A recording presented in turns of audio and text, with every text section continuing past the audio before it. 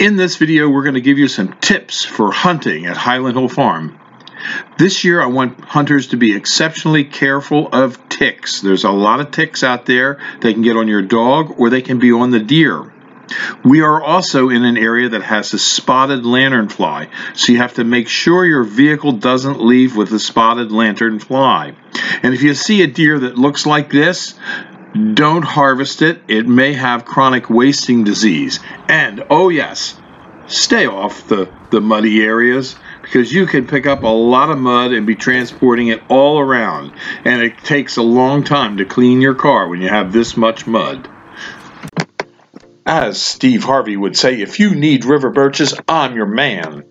If you need river birches, I've got them. I'll either give them to you, sell them to you, or barter them away. Yes. If you're a nonprofit, I'll give them to you. If you're a church, you'll get them for free. If you're a school, you get them for free. If you're a 501c, you get them for free. All you have to do is write me a letter and saying thanks and what they're worth. I have plenty of river birches and I will also barter. So if you have things that I can use on our tree farm, I'll barter them away, or if you just want to buy them, I'll sell them to you. At Highland Hill Farm, we have a lot of things for you to look at when you come to the farm. And we have an extensive collection of Indian artifacts.